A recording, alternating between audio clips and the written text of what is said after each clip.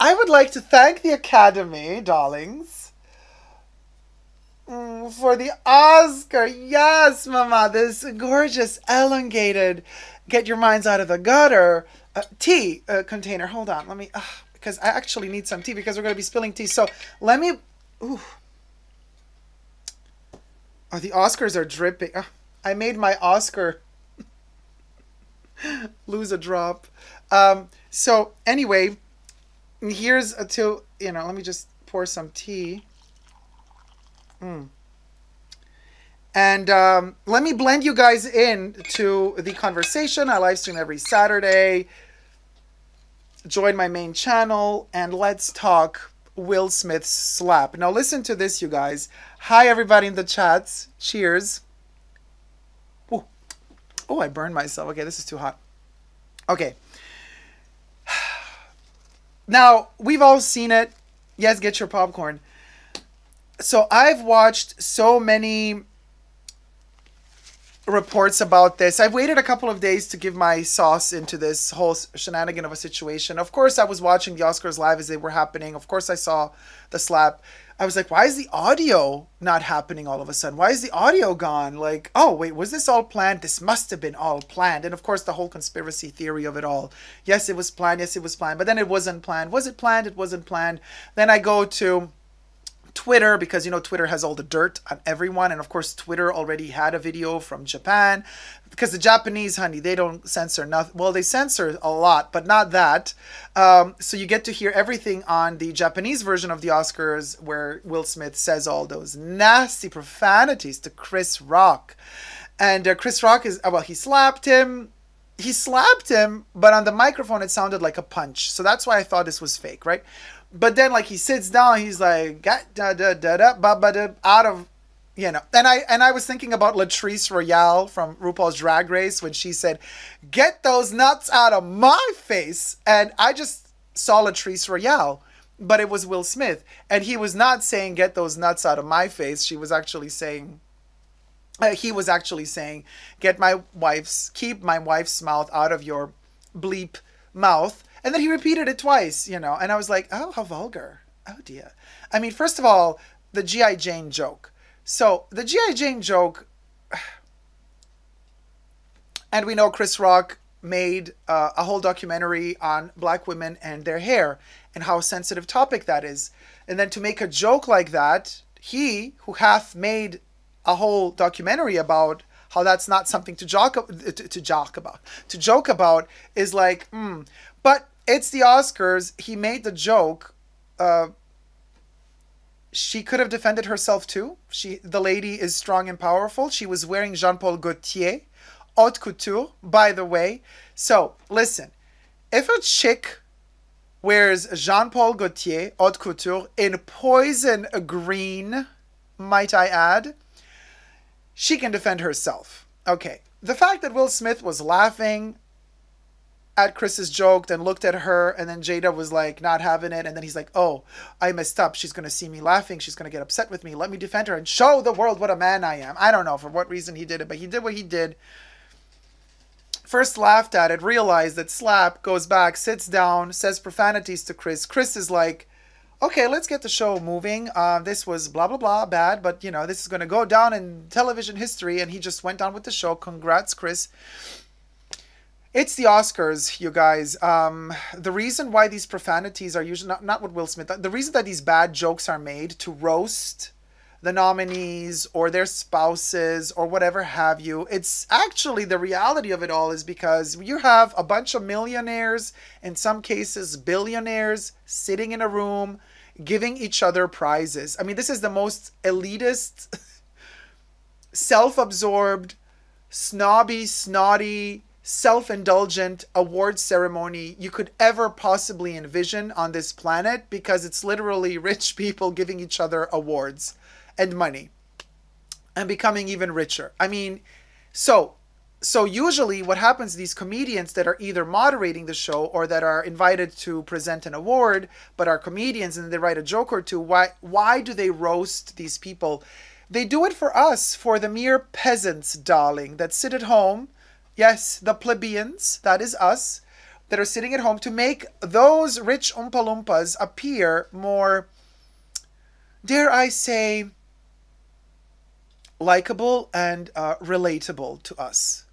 Hmm. So if if these comedians who are also in on the joke drop the roast towards these rich people that are giving each other awards, then we feel better about ourselves at home. That's basically bottom line the only reason why these jokes are done. Okay, they're done to make us mortals feel better about ourselves. See it a little bit as if you were going to the Colosseum and you have the gladiators fighting, and like you have all the plebeians sitting on the weekend seeing the gladiators kill each other so that they can appease their need for their, their, so that they can quench their thirst for blood because they're just you know living under poor conditions and they have their masters treating them like crap. So it was a concept that the romans invented called panem et circenses which means bread and circus to appease the masses. Same happens at pathetic ceremonies as the oscars where the rich give uh, you know accolades and money to the rich and so they throw in these jokes to make us peasants feel better about ourselves well, Will wasn't having any of that. He was like, no, I'm above all this. Uh, how dare you? How dare you? Now, update, fast forward to today as we're filming this live segment. Uh, Will has, I don't know if somebody in the chats wrote it, but Will Smith has allegedly uh, left the academy or the associate, whatever it's called. He basically made a statement that he's leaving the academy. He's no longer a member of the academy. I thought to myself, so he did it before they could kick him out so that he kind of saves his face. This isn't for me even about the slap of Chris Rock. This is about the fact that this dude stole the show for everybody else. Nobody else got a chance to shine because nobody else.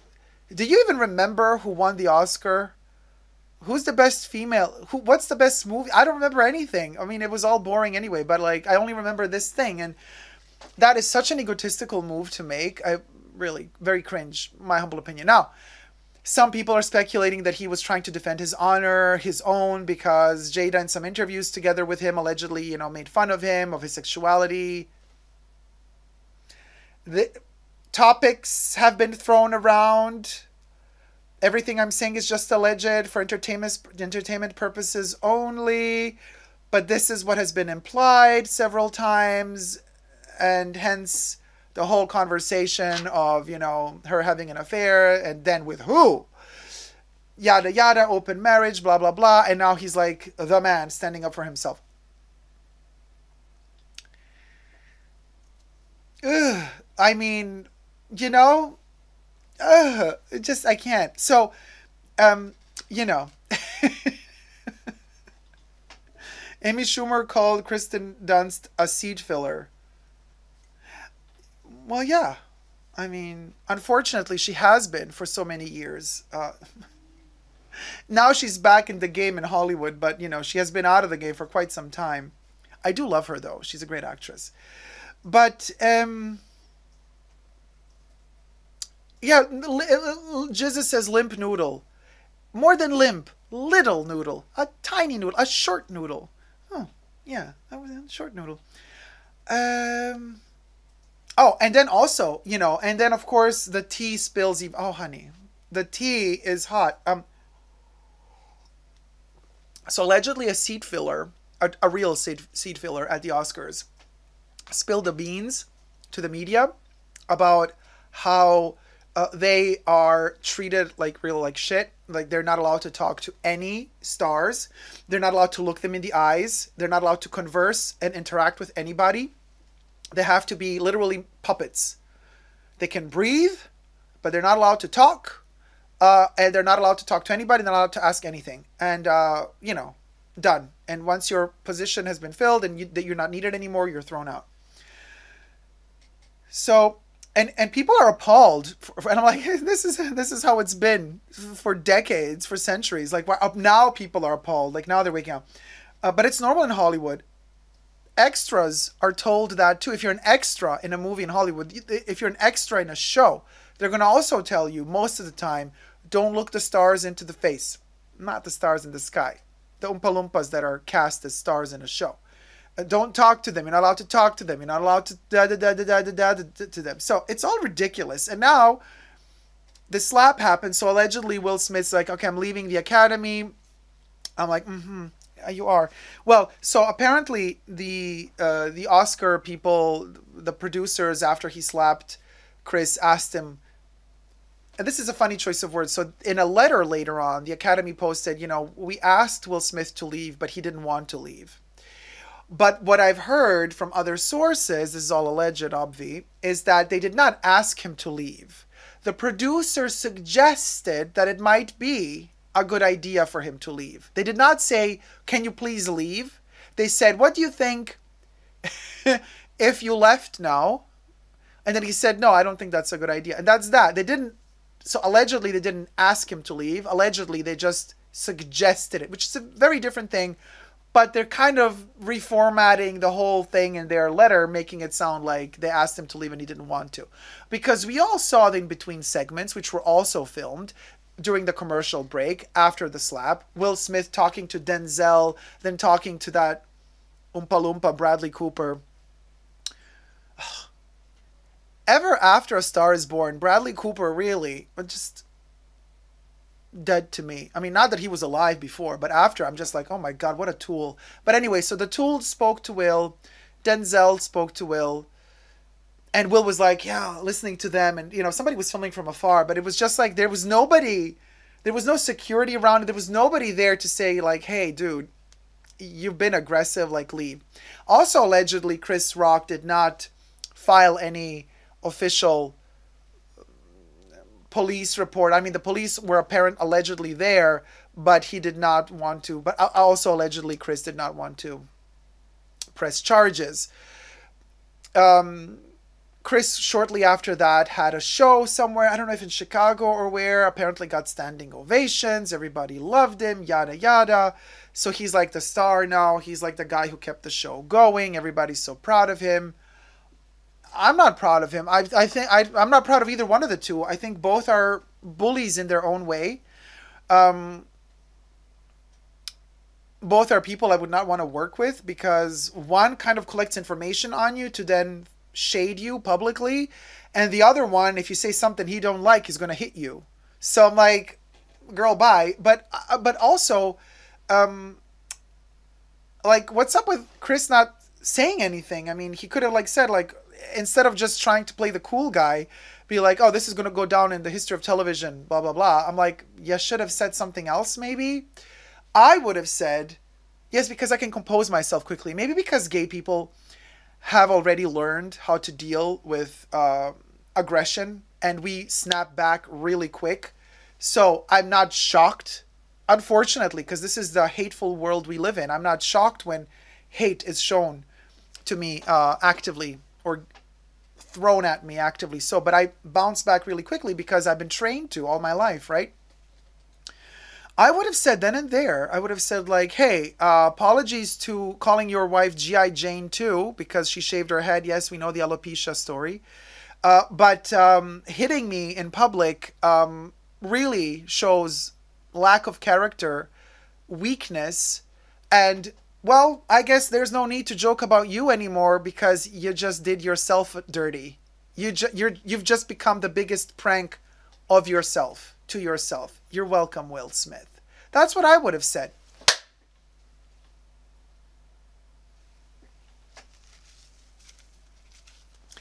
Now,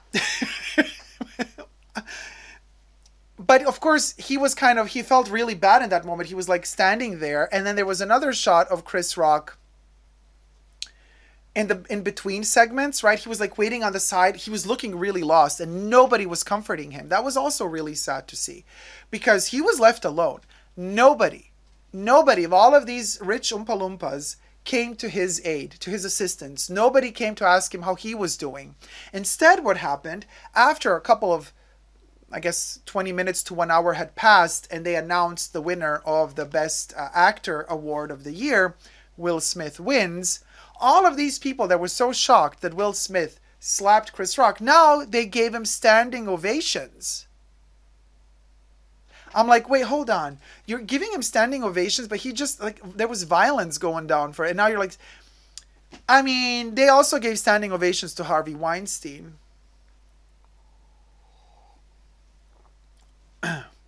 yes, but no says, did you just fresh prince a fly? Oh, you best believe I did. Except the fly won't live to tell the tale. Unlike Chris Rock, this fly will not live to tell the tale. Oh, Summer Nights. Harvey Weinstein wins so many awards while he was active. Of course, he got standing ovations. Best buddies with Oprah Winfrey. Everybody loved him. One of the rare people who dared speak out against him, Courtney Love. Bless her heart. Courtney Love, she's such a rebel. I love her to bits. I love Courtney Love. I respect her so much. Courtney Love was the only one. She gave an interview a couple of years. This is way before the allegations started. This is way before the Me Too movement. Courtney Love was asked on a red carpet somewhere, like, "Oh, what do you like think about Harvey Weinstein?" I think she was going to a premiere of a movie uh, that was produced by him, by Miramax, and then she said, "Oh, Harvey, just only thing." She literally, I mean, literally. I'm gonna paraphrase now, but she said something. Um, they said, "What about Harvey Weinstein?" She said, "Just be sure to never go up to his room if you meet him in a lobby and he asks you to have a drink with him." You don't believe me? Look it up, as Madonna would say. Oh. Oh, honey, I've been to a Madonna concert where Madonna herself, on stage, I'm witness to this. He was present at that concert. And she said, on stage, Oh, somewhere in the uh, in the crowd here today is Harvey Weinstein, who also helped me a lot in my career. I just want to say I love you so much. This was also way before the Me Too movement. Madonna loved him too. They all loved him until it wasn't comfortable for them to love him. So don't trust Hollywood, you know? It's a bunch of rich people rubbing each other's backs to maintain their position of power and, and riches. Just saying. Now, as for this slap situation, I couldn't care less, really. I, I just think to myself, you know, maybe some people are going to wake up now, and there's going to be a little bit more scrutiny towards whatever uh, the Oscars are or not. Um, I don't condone violence, physical violence, no matter what you say. Uh, Jada could have defended herself also. She didn't. Instead, she just rolled her eyes and then Will Smith like attacked. I don't condone violence. I don't think there's anything you could say. You're expecting to be roasted when you go to these awards. You're expected to be roasted. And if you can't take a roast, then honey, that's not a job for you. Then why don't you go back home, become just like the trolls on Instagram, on YouTube, become an invisible keyboard warrior, Will Smith. That's my uh, suggestion to you. Quit the acting career, go home, sit at your keyboard, create a faceless profile, and become a keyboard warrior and go and attack everybody and everything from the commodity and comfort of your own home while whilst you're avoiding to deal with anger management issues. That's what I think you should do. Hollywood is a pure joke. Short people with a huge ego, says Louis. Yes, but no, says Ricky Gervais was amazing hosting the Golden Globes. Jack says, well, I don't know. A roast is a roast, but an awards show is an awards show. Jack, I don't know if you missed the beginning of my video where I explained why they roast people during award shows like this one, but there's a reason why they do. Um, Jesus says Will is a sister allegedly. I didn't want to touch base on the uh, homosexuality allegations because some people say that they absolutely do not believe that that's true. Some people think that that is the case. I'll, again, I couldn't care less because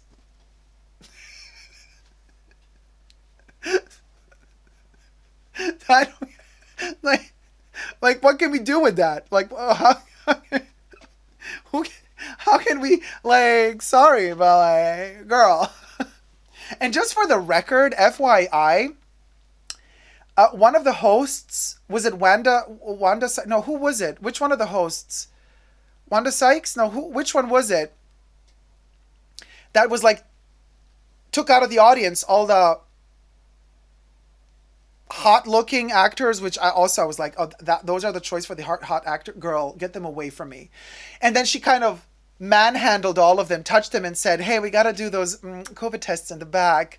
I'm like, imagine if a man was standing on stage, a comedian man moderating the show, and called the sexiest women to the stage and groped them. You think that would fly? You think that would not have been embarrassing and offensive? But the woman did it to the men, and that was okay. I mean, the whole show. She, Regina Hall. But thank you, KDF. By the way, Regina Hall is freaking awesome. That joke was terrible, but she's awesome. I love her in Black Monday. Oh my gosh, she's amazing. I also loved her in uh, Nine Perfect Strangers with Nicole Kidman. Nine Perfect Strangers, what's it called? And she's such a different character in both TV shows. Like she can change so well. She's amazing. I'm a huge fan of hers. Just forgot her name, but I really like her a lot. Regina King? No, Regina Hall. Regina King or Regina Hall? Well, whatever. Uh, her. okay, now.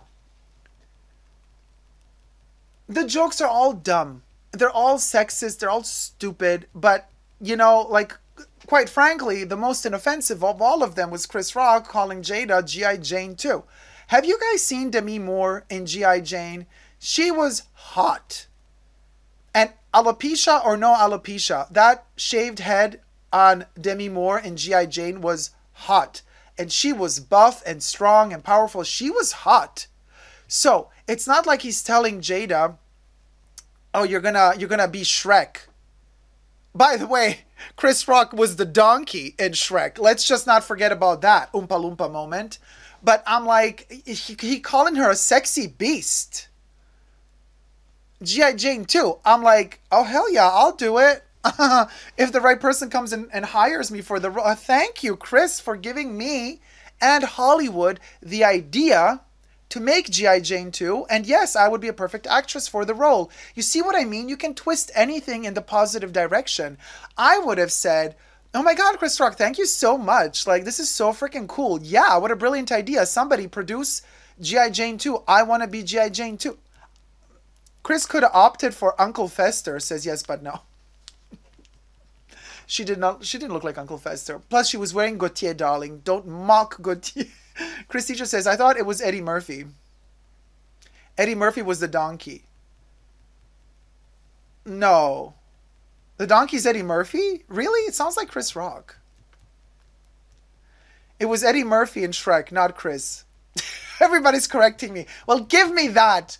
In my dreams, it was Chris Rock. Wait, so who did Chris Rock voice? He did some cartoon, you guys. I'm sure he did. Don't tell me he didn't do any cartoon ever.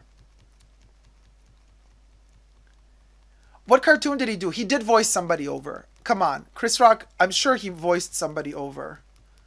I feel bad for Chris. G.I. Jane is not a bad roast. Demi was so hot. I'm telling you, Summer Nights. Demi was amazing. oh, he did Madagascar? Oh, he was a zebra? Okay, donkey, zebra, potato, potato, tomato, tomato. He was some animal in a cartoon. Give me a break. No, right, right. Okay, a zebra. Give me a break. It's a zebra, donkey, it's all the same to me. Just, you know. So, G.I. Jane 2. I call that a compliment, quite frankly. What are we talking about here? Honestly. Honestly. In, Anna Delvey style, I, I would, I would, you know what?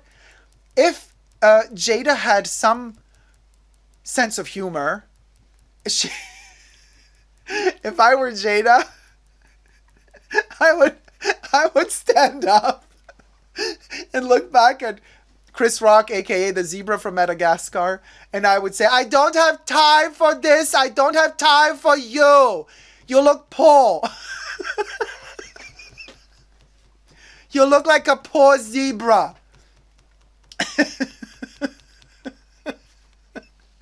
if you know, you know what I'm talking about. oh my god.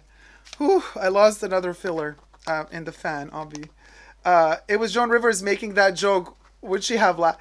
Um, Joan Rivers, they would have never invited Joan Rivers to the stage at the Oscars. When Joan Rivers passed away, and I'm never going to forgive the Academy for that either. When Joan Rivers passed away, they did not give her an in memoriam moment that year. I was so pissed. You know, like they gave Betty White a huge moment in the in, in memoriam, but they didn't give Joan Rivers any moment. And and she was she was she was an actress. So anyway, a not very VIP, not very exclusive Anna Del. Yeah, yeah, yeah, yeah, yeah, yeah. Not not very VIP. No. Uh, they should have been glad he didn't make a cheating joke. Jada for Megamind. Oh my god, Jesus, Jesus, I can't with y'all. Jada for Megamind. Oh my god. Oh my god. Oh my god. Oh my god. Straight to jail. Jesus, straight to jail. If if it were a white man slapping Chris Rock, would he have kept the Oscar? A white man just would have never, because I think white men are so influenced by this whole racial issue in America that in Hollywood, a white man would never dare, never. Now, the question if if the white man made the G.I. Jane joke about Jada, would have Will Smith slapped a white man? First question. Second question. If it was a woman, if it was a black woman who made the joke at Jada, would, would Will Smith have slapped a black woman? Third question. If it was a white woman that made the joke about Jada, G.I. Jane 2, would have Will Smith slapped a white woman? These are the questions that I would really love answers to. But as I said before, I don't have time for this. I don't have time for you. Subscribe to my channel. Bye, bitches.